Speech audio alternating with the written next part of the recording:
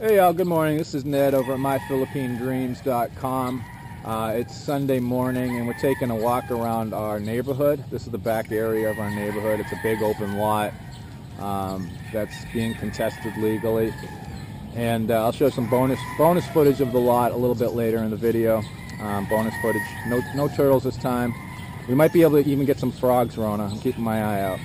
Um, what I want to talk about here as briefly as possible is having a sense of purpose in the Philippines. Um, once you get here and you settle in and the honeymoon stage starts to wear off, you got to have something to do. You got to have something to keep yourself productive, keep yourself busy, um, and make yourself feel good about yourself that you're accomplishing something. That you're not just sitting, you know, day after day in the hammock with your feet in the sands, you know, drinking San Miguel's and margaritas and all that stuff, looking for frogs. Um, this is really important because I know if you have visited here or if you live here now, you've seen the guys that come here. Um, they settle in, they get into a routine, uh, and they really don't. They find out, you know, I can only watch so much TV during the day. I can only download so many movies. Um, and they start getting involved in some negative behaviors. Uh, these negative behaviors usually take the form of drinking too much. If you're an alcoholic, and you have a drinking problem, the Philippines is a great place to come and kill yourself with alcoholism.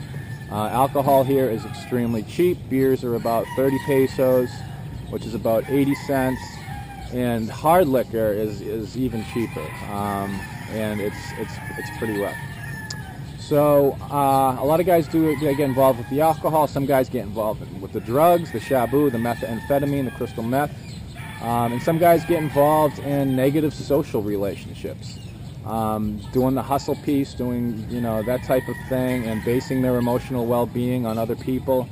Um, there's something missing with them, and that comes around to haunt them, and that can cause problems. Um, because again, when you're dealing with people here, you're not dealing just with that person; you're dealing with their entire extended family. So that's something that you have to keep in mind. Um, there's a number of other ways that people get involved. A lot of times it's just pathos. A lot of times it's just uh, depression. Um, guys, you know, that might have had mental health issues in the past. All of a sudden they're revisited by those.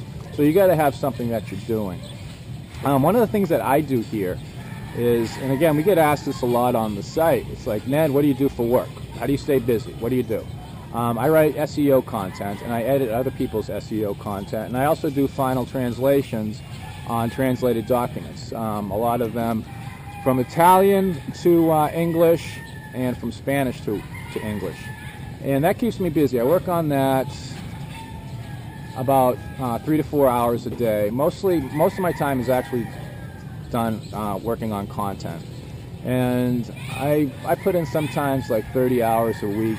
I basically get to work my own hours and I basically get to do what I want to do when it comes to selecting what kind of content I want to write. When I first started, it was all business content. I had to write all kinds of business stuff, uh, managerial documents. And that was pretty boring. But at this point, um, projects are getting submitted to me and I get to pick and choose. Um, but again, I've been doing this for a little while, and that's a good place to be. Um, and that makes me feel fulfilled. That makes me feel happy about myself. Puts some money in my pocket. Um, and at the end of the day, I can look myself, you know, I can look at myself in the mirror and say, you know, I did the best job I could do today. Um, it gives me a sense of fulfillment. It makes me feel like I'm contributing something and not just existing. Um, and that's important. And it's not just in the Philippines, it's everywhere. But it's particularly here because in a lot of cases, you're going to feel socially isolated. Yeah, you're going to be you know, have Filipinos all over the place and expats all over the place. Um, but there's a, there's a certain level of separation. A lot of the expats here are pretty much rugged individualists and they're not looking to ex- extend their uh, friends lists. I'm speaking generally. And uh, the Filipinos, you know, they're Filipinos. They're doing their Filipino thing, and uh, you know, unless you're actively involved with their family, um, you're not really going to be hanging out way too much with them. Uh, so when guys get here and they start to sell in, there's a couple things they can do to stay productive, to have that, as the French call it, that raison d'etre that reason for being, having shit to do. Um, some of the guys become gentlemen farmers. This is one of the first things I encountered. Uh, they'll get these massive tracts of land, often, you know, the, in Bayawan or out in the foothills somewhere. Um, and the next thing you know, they're they're becoming horticulturalists. They got these huge farms growing with all these vegetables and fruits and whatnot. If you look at Alaska Al's video, you can see an example of that, and uh, where he's got those grafted Lang, Long Kong Lanzones going. Um, and a lot of times guys come here with no knowledge of this stuff and they just learn it as they go along. There's another guy, Graham, who's actually a horticulturalist, I believe. So he did this way before he became, he came here. And he does the same thing. He's a gentleman farmer. He's got, you know, um, vegetables and fruits growing all over his properties. And he's passionate about that. And uh, we tried to do it here in Bunyao, but we didn't have enough sunlight. And uh, we didn't realize that the arc of the sun changed over time. So uh, our garden died. But hey, we gave it a shot. Um, other guys get involved and then writing. A lot of guys are like, I've always felt like I wanted to write a book, write a novel, you know, write, write something, and now I have the opportunity to do that. And they sit there on their laptops and they type up their novel. Um, other guys get involved in charitable organizations. You're going to see a lot of this. Um, organizing blood drives, community events, uh, boxing fundraisers. You saw the video we did with Peter and, and Daisy, and uh, they had the boxing fundraiser. They're getting ready to have another one. Um, building basketball courts for the kids, building recreational centers, um, getting involved in their communities. You know, they come here, we come here, they, we build a house, we build a home, we have this nice place, and they don't feel like it's enough just to sit there. So they want to become, you know, part of the community, so they start helping out. Um, and that's great. And you also see, and they'll have websites on their charitable organizations, you know, international 501c3 nonprofits. And, uh, and that's a great thing. You see guys getting involved with that.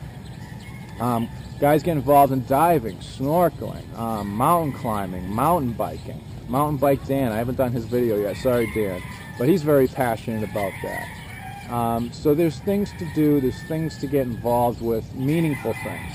Um, again, the coming here and doing the drinking and the you know chasing things is only going to last just so long. It's only going to you know fill your hours for so many days and then you got to find something more. That's just my thought. That's just my two cents. That's just my opinion. Um, if you have anything you'd like to add if you agree if you disagree leave it down in the comment section. Um, and if you like the channel subscribe to the channel because we're constantly trying to put out more content. And we're going to have some changes over at our website over at myphilippinedreams.com at some point. And that's and that cow's I think is getting ready to charge me. So I'm to head out. This is Ned over at My Philippine Dreams. Until next time, take care.